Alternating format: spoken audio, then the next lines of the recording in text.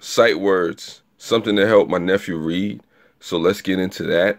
I'm just going to read this off real quick. I don't know if I got to repeat these two or three times, but this is for you, Cam. No excuses. Play this video back as many times as you need to. Let's get into that right now. When, where, walk, think, then, them, take, stop, some, round, will, with, work, after, give, live, once, open, over, no, just, giving, from, could, every, your, would, which, very, they, there.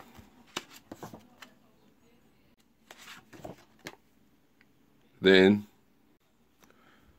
them, this, some, that, take, the, said, over, other, much, many,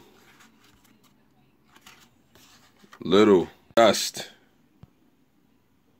good, give, here, what is this?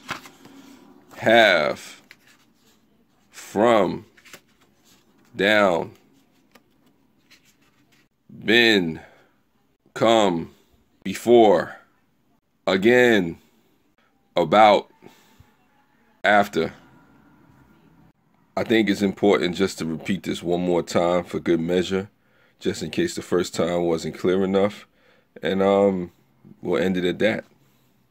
About, about, again, again, before, before, been, been, come, come, down, down, from, from, have, have, here, here, give, give, good, good, just, just, little, little, many, many, much, much, other, other, over, over, said, said, take,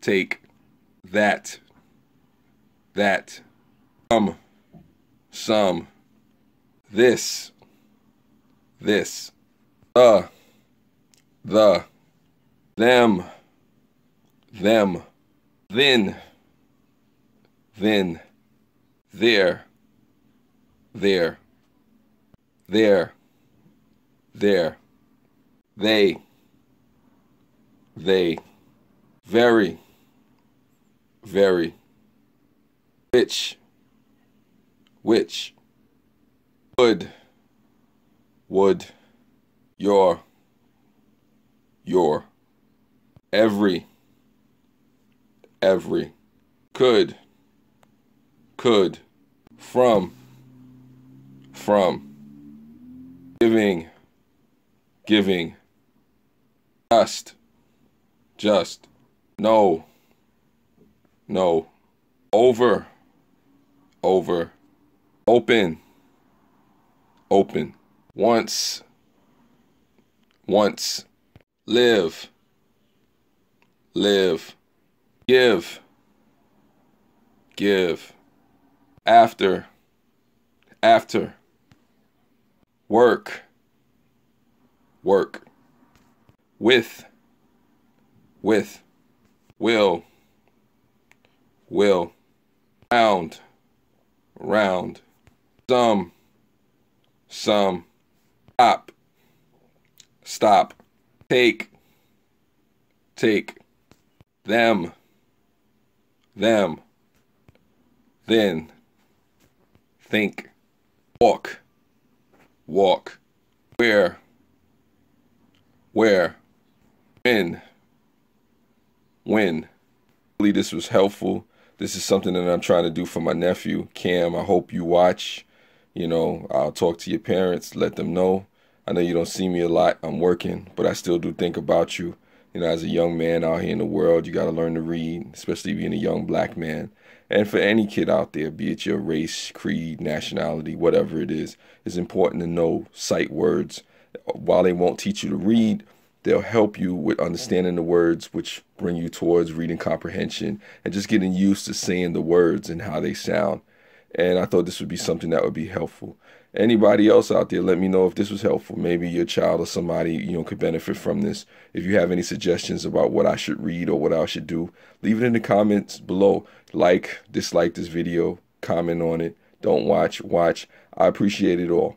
But this is specifically for one person, and hopefully that person watches you know, uh, Cam, you know, Uncle Mel Mel, love you, and I'll talk to you soon.